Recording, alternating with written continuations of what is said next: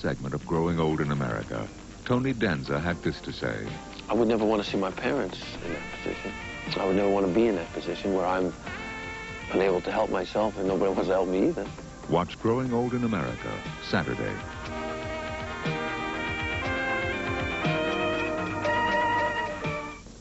Coming up next on Eyewitness News.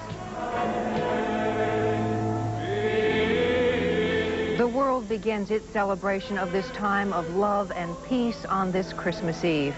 We will also take you to the remembrances here in Cleveland of that first Christmas so long ago, and then meet some of our newest Clevelanders, the holiday newcomers of the season. Hello, I'm Wilma Smith. Ted Henry has the night off. Eyewitness News at 11 is next.